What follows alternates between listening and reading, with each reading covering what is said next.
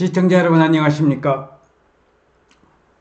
용인시는 인구가 100만이 넘었으면서 용인 특례시가 되었는데 그 중에서도 용인시는 반도체 특별시로서 세계적인 반도체 산업단지로 발돋움하고 있는 것이 바로 용인시입니다. 그래서 오늘은 용인시에 대해서 L자형 반도체 벨트, 세계적인 반도체 벨트에 손색이 없는 L자형 반도체 벨트를 만들면서 거기에다가 반도체 고속도로까지 연결시키는 내용이 되겠습니다. 그러면은 오늘 용인시 L자형 반도체 벨트에 대해서 말씀을 드리면은 자 여기 나와 있는 경기 용인 플랫폼 시티에서 삼성전자 기흥 캠퍼스 그리고 제2 용인 테크노밸리와 그리고 국가 산업단지라고 하는 그 이동 남사의 삼성 반도체 그리고 여기 나와 있는 126만 평이 개발되는 용인 원삼 SK 하이닉스 반도체 이 벨트를 중심으로 해서 어떻게 개발이 되는지 사진과 함께 여러분들에게 생생하게 전해드릴 수 있도록 하겠습니다. 자, L자형 반도체 벨트 구상도가 지금 지도에서 나오고 이렇게 L자로 나온다는 겁니다. 자, 그러면은 어, 용인시 그 관내에 L자형 반도체 벨트 로드맵에 대한 구상을 발표를 했는데 용인 플랫폼 시티 여기 용인 플랫폼 시티죠. 삼성전자 기흥 캠퍼스 그리고 여기 나와 있는 그 제2 용인 테크노밸리 그리고 어, 이동 남사의 국가 산업단지 삼성 그리고 SK하이닉스 반도체에 대해서 한번 정리해 볼 수 있도록 하겠습니다. 먼저 용인 플랫폼 시티입니다.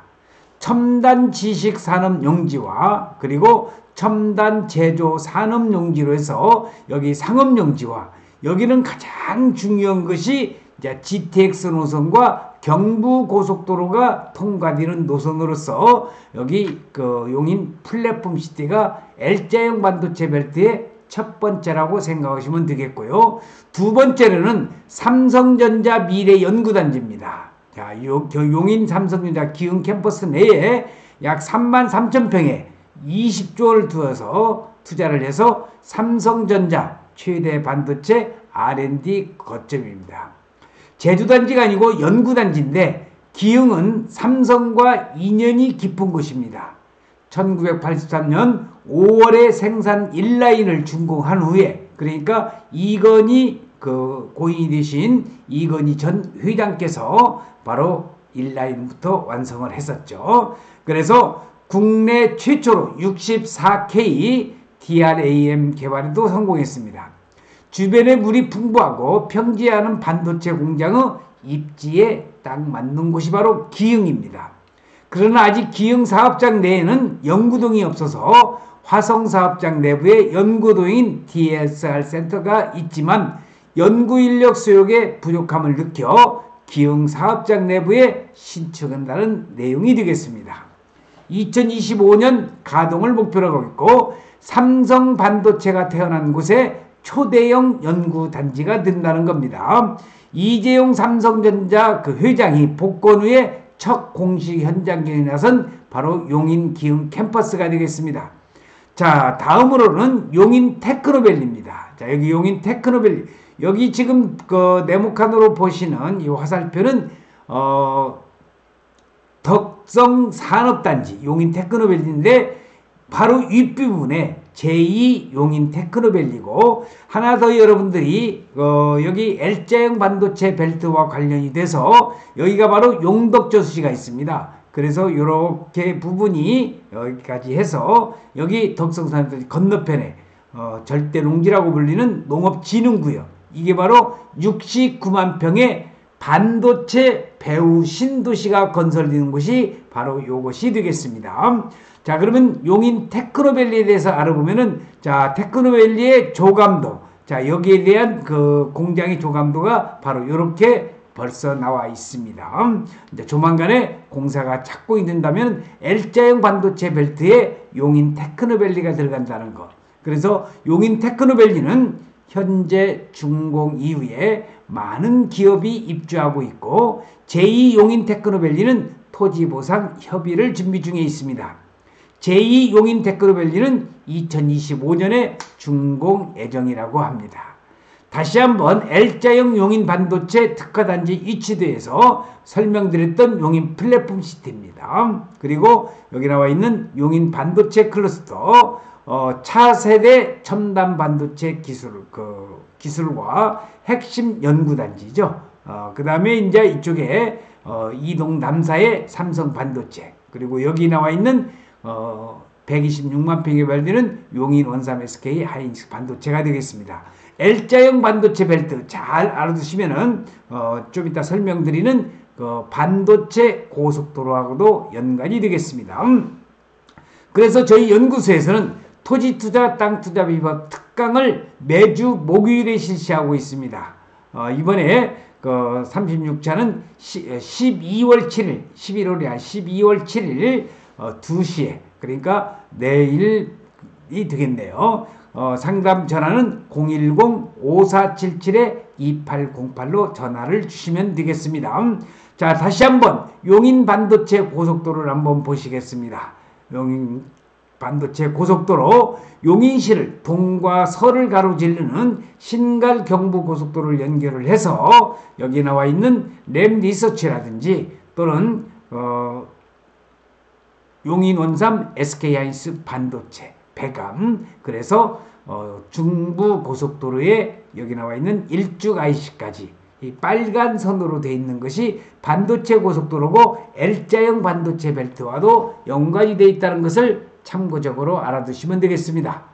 자, 그 다음에 용인이 세계 최대의 시스템 반도체 클러스터를 구축한다는 겁니다. 바로 215만 평의 용인 삼성 반도체, 세계 최대의 반도체.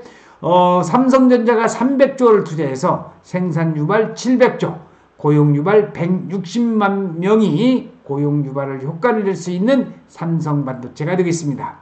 경기도 용인에 세계 최대 규모의 첨단 시스템 반도체 클러스터가 들어서는데 20년 동안 무려 300조 원을 투입을 해서 전 세계적으로도 전례가 없는 메가 클러스터가 조성될 예정입니다. 올해 초 세간의 화제가 된 용인 반도체 클러스터 역시 반도체 벨트의 핵심으로 손꼽히고 있으면서 SK 하이닉스가 부지가 대부분이면서 나머지 소재와 그 다음에 그 소재, 부품, 장비사가 입주하는 것에 있어 2025년에 착공해서 2027년 완공이라고 합니다. 바로 여기입니다. 용인 원삼 SK 하이닉스 반도체 4개의 팹과 50여 개의 소부장 이런 협력화 단지 그리고 이쪽 부분에는 1800세대의 아파트와 지원시설 용지, 상업시설 용지가 들어선다는 것을 참고적으로 알아두시기 바랍니다. 어, 제조 품목은 시스템 반도체, 즉 비메모리 반도체가 주축이 될 것이며 그 결론은 이와 같이 반도체 벨트라고 하는 것은 어, 우리가 그 L자형 반도체 벨트로서 어, 용인시에 동서를 갈라지르는 반도체 고속도로와도 밀접한 관련이 있습니다. 어, 우리가 그 위와 같은 선언이라고 거창하게 말은 해도 사실 삽뜨고 완공하기 전에는 아무도 모릅니다. 관련 부동산 기사들을 보니 용인 집값에 대해 바이럴한 기사도 많이 보이고 용인시도 나름대로 많이 마케팅을 하려고 저런 이름들을 지어보는 것 같은데 항상 중요한 건 결과로서 나오는 법이 되겠습니다. 그래서 김영선 박사의 어, 부동산 투자 연구소에서는 용인 안성상 그 토지 특강을 실시하고 있습니다. 대한민국 최고의 투자처 용인 안성 좋은 땅 찾는 방법과 돈 드는 정보를 알려드리는데 매주 목요일에 강의를 실시를 하면서 소수정의 10분만 선착순으로 모십니다. 이런 분들이 강의를 들으시면 좋겠죠. 땅 투자를 하고 싶은데 땅에 대해서 잘 모르시는 분.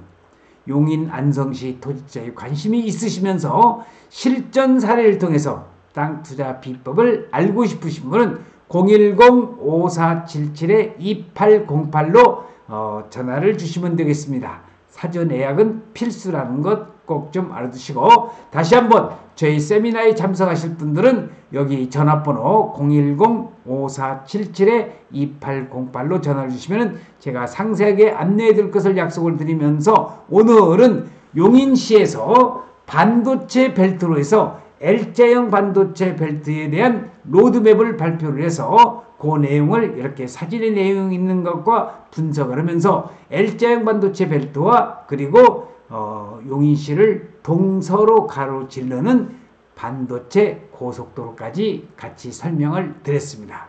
오늘도 저희 동영상을 시청해 주신 여러분들께 감사드리면서 이제 추위가 점점 다가오고 있습니다. 어, 독감 주의하시고 건강하게 어, 활동하시기를 기원하면서 오늘 동영상 촬영을 마칠 수 있도록 하겠습니다. 시청해주신 여러분 대단히 고맙습니다. 감사합니다.